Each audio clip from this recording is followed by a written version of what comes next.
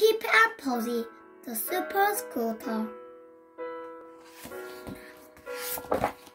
Pip and Posy, the super scooter.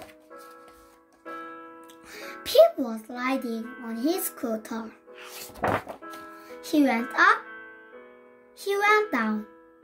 He even did tricks on it, just then Posy appeared.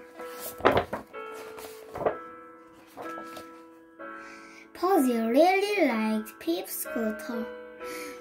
She wanted to ride on it a lot. So Posy snatched the scooter and scoot, scooted away as fast as she could. Pip passed very close.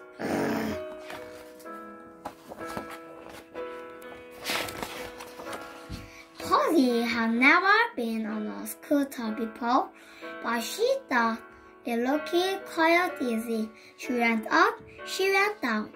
She even tried to do a trick on it. Careful, Posy!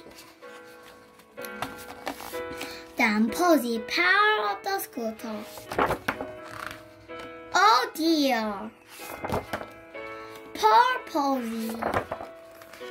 She hurt her and was very sad. So Pip looked after Posy and her sore rock. I am sorry for taking your scooter, Pip, said Posy. Thank you for looking after me. Pip and Posy had a big hug.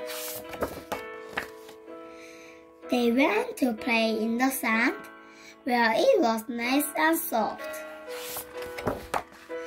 And then they went home for tea. Hooray! The end.